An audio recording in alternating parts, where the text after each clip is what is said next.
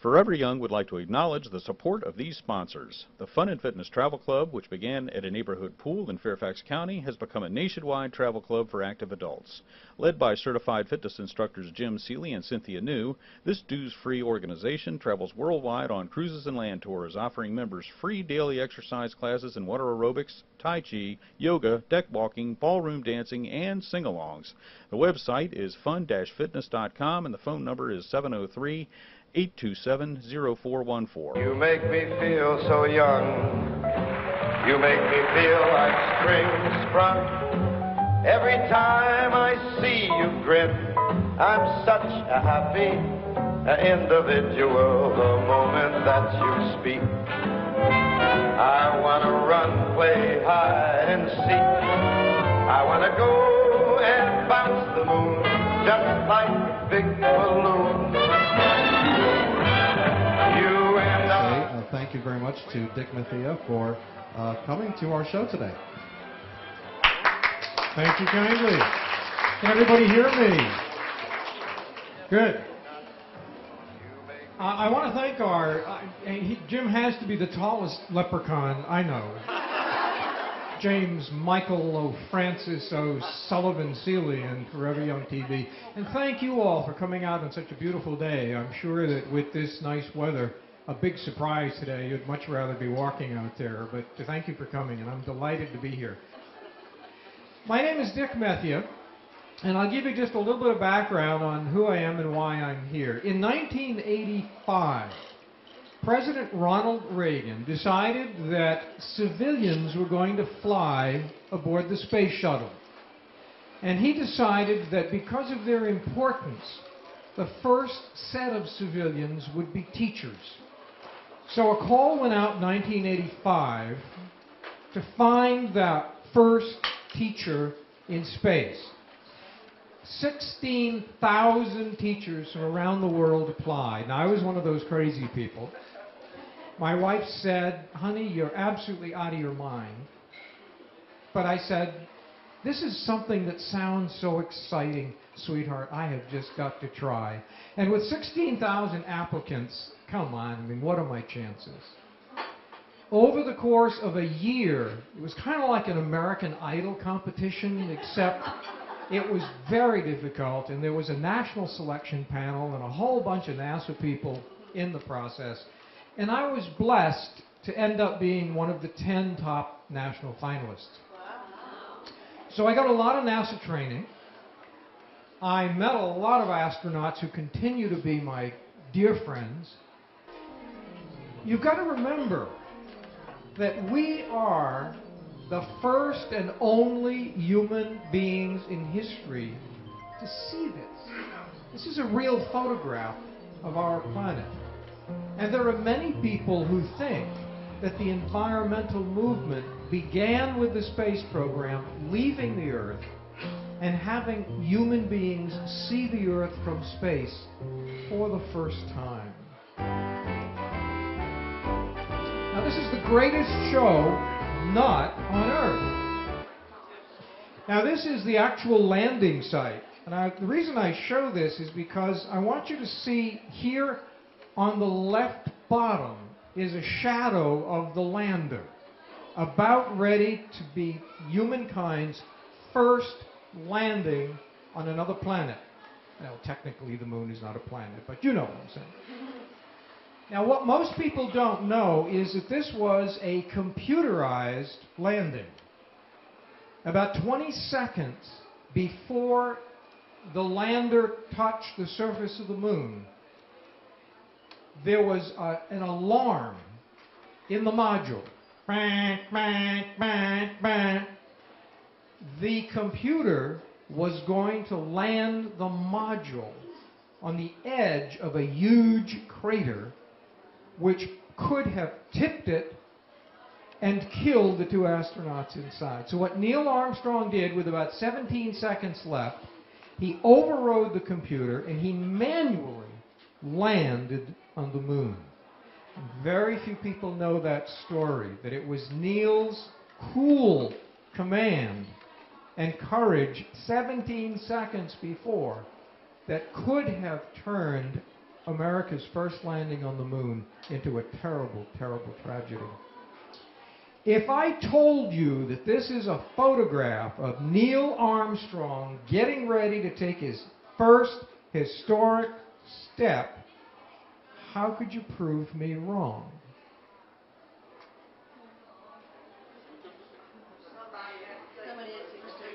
Ah, okay. BB says, who would have taken the picture? This was actually Buzz Aldrin coming down the ladder. Neil had already come down, stationed himself a couple of hundred yards away with a camera, and he took this historic photograph. Some people say, oh, it was Ham the chimp. He was still there. He must have taken it. This is one of the most glorious photographs in human history, and this is called Earthrise. This was taken by our Apollo astronauts, and they, when they talk about it, even now, they say it's impossible to describe how lonely it was looking out across the bare lunar surface at all of the human beings alive in that small blue marble out there in the void. But I want you to remember that all of this is taking place in about eight minutes. Ten, nine, eight, seven, eight, start, five, four, three, two, one, and liftoff of Space Shuttle Atlantis to assemble the framework for the science laboratories of tomorrow. So we're now traveling about a thousand miles an hour, about three G's.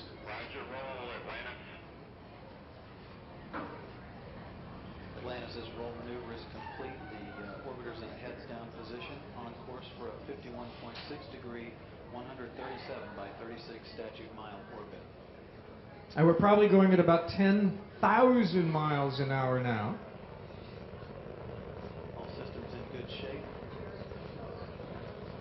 Engines throttling down as Atlantis prepares to maneuver through the area of maximum dynamic pressure on the vehicle. Seeing one of these at nighttime is one of the great wonders of the modern world. Here at the Space Center at an altitude of 5 miles. And then before you know it, we're in space. Eight minutes. Think how far you can get on 495 in rush hour in eight minutes. We have gone from the surface of the planet 120 miles up, traveling at about 17,000 miles an hour. And you see, it is a space truck. Now, one of the things that we do a lot, of course, in space is photography. But I want you to notice that this astronaut is has got his feet kind of lodged under two places that will hold him. Because you have to find a place to attach yourself and everything you bring into space. Because remember everything floats. So the foot restraints help keep him steady. You notice by the way what he's wearing. It's kind of warm in the shuttle so it's t-shirt shorts socks. Okay? Let's talk about the more practical things. How do you eat in space? Well, your pancakes, as I say here, are so light they actually float. But so do the people. So do the cans, if you bring any cans aboard. This guy's got two apples in front of him. He's not juggling. That apple's going to stay there. It's going to move a little bit because there are fans and air currents in the shuttle. But all he has to do is take a bite out of it, turn around, put it out here in front of him, come back a few minutes later when he's done whatever he has to do, and it'll still be there. Exercise on the shuttle is very important because for reasons we don't quite understand, you use, lose calcium in your bones. So the astronauts have to exercise at least 30, 40 minutes a day. But remember, he's tied down because otherwise he'd exercise himself right up into the ceiling. Now, this guy is actually faster than any Olympic runner on record. Because when this photograph was taken, he actually jogged across the United States over 3,000 miles, and he did it in about seven and a half minutes. And that's pretty good speed. Because the shuttle is traveling at 17,500 miles an hour. The astronauts see one sunrise and one sunset every 45 minutes. I'm going to show you a little video clip of what it's like to be in the shuttle, and I want you to watch a couple things. I want you to watch the astronaut just flying through the shuttle. I want you to watch how he shaves himself. He's going to shave his head. But because you can't let the follicles of hair loose in the shuttle, he actually has a vacuum. There are just a couple of other really wild things. And at the end of the video clip, you're going to see them eating an orange, and it's just absolute hoot. I would love to be able to eat this way.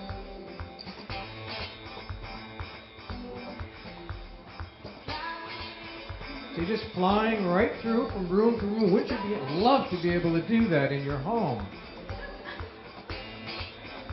And he's coming back. Isn't that great?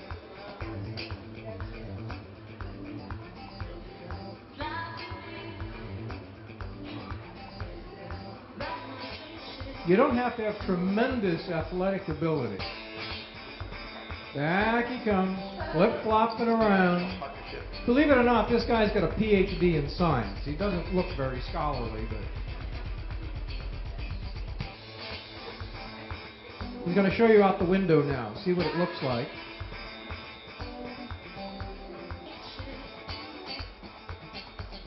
And that's the Earth from about 120 miles straight down. Now he's got a computer actually just like mine. He's communicating with ground.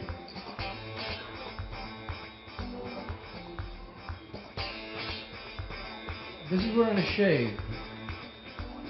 And all the hair goes in the vacuum.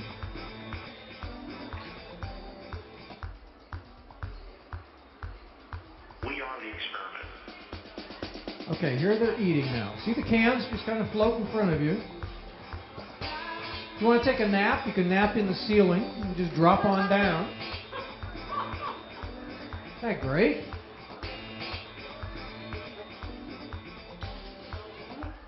That's how very, very thin our atmosphere is. That's water. That's what water does in the shuttle. It forms little globules.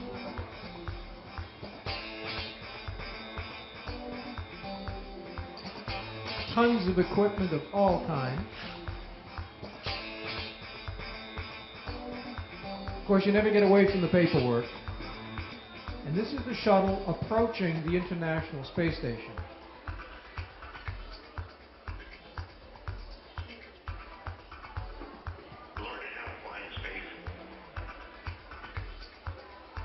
That's the atmosphere again, very, very thin. That atmosphere that all of us depend on. And here we go. This is how to really eat an orange.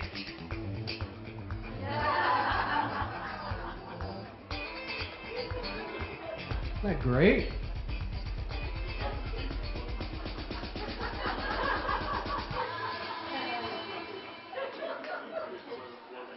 That's one of the reasons why astronauts love to bring M&Ms because they play games with each other. They just toss the M&Ms across the shuttle and see who can catch them. They love to bring tortillas because they play, play frisbee and then they eat them. First couple of days they they can bring fresh fruit, and then they do the kind of thing that we do. This is uh, the kind of food that you get in the store. Anything that needs rehydration or add a little bit of water to it is basically what they eat. This is my friend Barbara Morgan with DC's astronaut, and you just kind of put yourself into a sleeping bag, you zip it up. The difference is you can sleep this way, that way, that way, and you can just use Velcro. Velcro is really, really good to use in this in space. And what you do is you just Velcro yourself to a wall. and you sleep. And your arms float. And because there is always something going on in the shuttle, most astronauts do wear the, the little black blinders to, if they're bothered by the lights or not. This is very, very dangerous work. Because remember, everything is traveling at 17,500 miles an hour. Now, you know, people sometimes go to the top of the Empire State Building and they kind of, teenagers might sometimes do this, and they'll drop a dime off. It will actually go through the cement once it reaches the base floor. If you drop a dime off the Empire State Building, it'll go halfway through the cement. Now, that's not traveling that fast.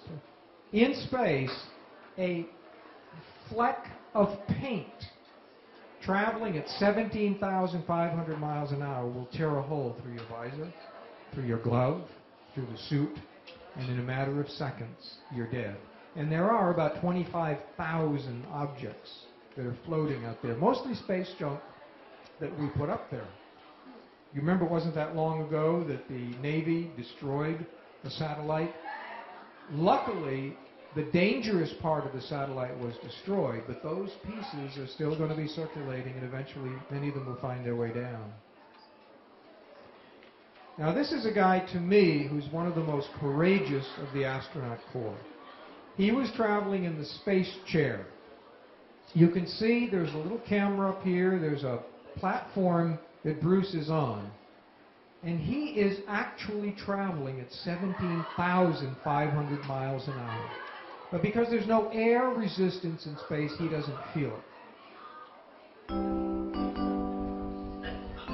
Okay, how about a family photograph before we head for home? Unlike our family photograph, you can position people wherever you want them for the photo. You just have to watch out who you step on. And the shuttle lands. If it's good weather, back in Florida. If it's bad weather, in the desert in California. Sometimes with wobbly legs. There is a special 747, specially outfitted and specially trained pilots who bring it across the United States from California back to Florida where it's put together again. You've been a marvelous audience. Thank you so very much.